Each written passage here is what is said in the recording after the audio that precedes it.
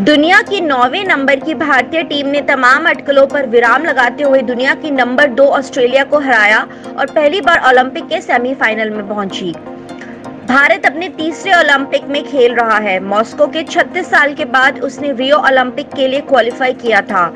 Moscow Olympic में महिला hockey tournament 25 जुलाई से शुरू होकर 31 जुलाई तक चला था। इसमें सिर्फ़ छह टीमों ने हिस्सा लिया था। केंद्रीय खेल मंत्री अनुराग ठाकुर ने कहा शानदार प्रदर्शन। भारतीय महिला हॉकी टोक्यो ओलंपिक में इतिहास रच रही है। हम पहली बार ऑस्ट्रेलिया को हराकर ओलंपिक के सेमीफाइनल में पहुँचे हैं। 130 करोड़ भारतीय आपके साथ हैं। हॉकी के हमारे दोनों ही टीम्स ने जो शानदार प्रदर्शन किया है उसके लिए बहुत बहुत बधाई शुभकामनाएँ। और अगले आने वाले बहुत महत्वपूर्ण मैचेस के लिए भी 135 करोड़ भारतीय की ओर से बहुत बहुत शुभकामनाएँ। पिछले कल भी पीवी संधू जी ने, जो कांस्य पदक जीता, उससे पहले मीराबाई चानू जी ने जीता, लवलीना ने शानदार प्रदर्शन किया। तो उम्मीदें भारत की ओर बंदी है। और मुझे खुशी इस बात की है कि भारत की बेटियों ने अब तक दो मेडल जीत कर दिखाए हैं। आज महिला हॉकी टीम ने भी शानदार प्रदर्शन किया है और पुरुष हॉकी टीम ने भी शानदार प्रदर्शन किया है। केंद्रीय मंत्री किरण रिजिजू ने कहा, आज भारत के लिए बहुत बड़ा दिन है। हमारी महिला और पुरुष हॉकी टीम का ओलंपिक सेमीफाइनल में पहुँचना ही अपने आप में इतिहास रचना है।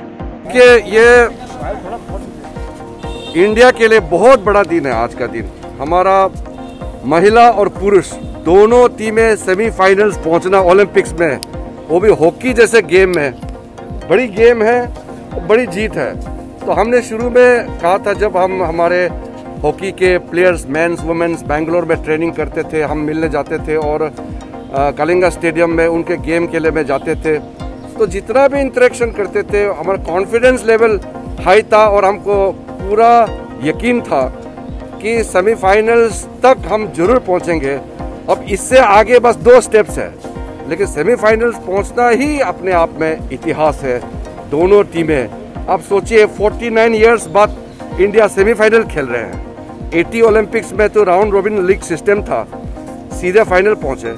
लेकिन सेमीफाइनल्स 49 इयर्स बाद इंडिया सेमीफाइनल्स खेल रहे हैं ओलंपिक्स में। बहुत बड़ी बात है ये हमारे लिए। और इंडिया के लिए तो ये तो सेलिब्रेट करना है। अब अब हम तो उम्मीद है कि दोनों मेडल लाए, लेकिन सेमीफाइनल पहुँचना अपने आप में इतिहास रचा है।